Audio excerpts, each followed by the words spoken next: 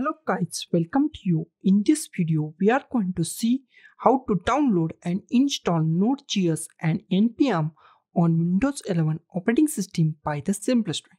So let's go and install it. First of all, just go to the any web browser and here just type Node.js, okay, and hit enter key on your keyboard. First link is from the nodejs.org. This is an official website of Node.js.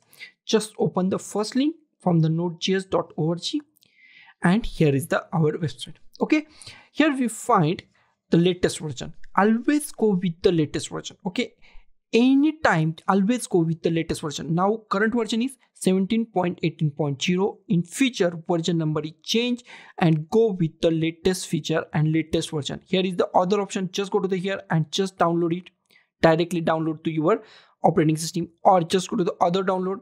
I am going to the other download. You can go with the this download option also. Okay? Here is the other downloads. Okay?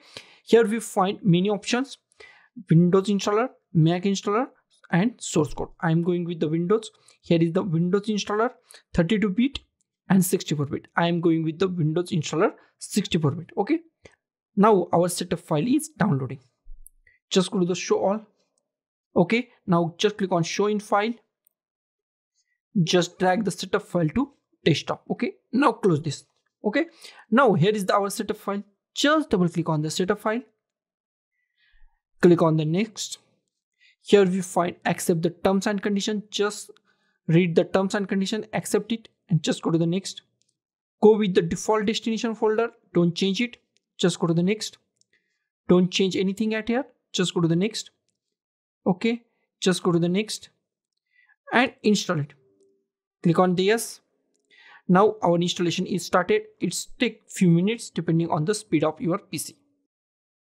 Okay, our setup is complete successfully just click on the finish now we are going to check our node.js is installed or not just go to the start just type cmd just go to the command prompt in command prompt just type node hyphen hyphen version and hit enter key. And here is the our version number. If you find version number then successfully install your node.js okay.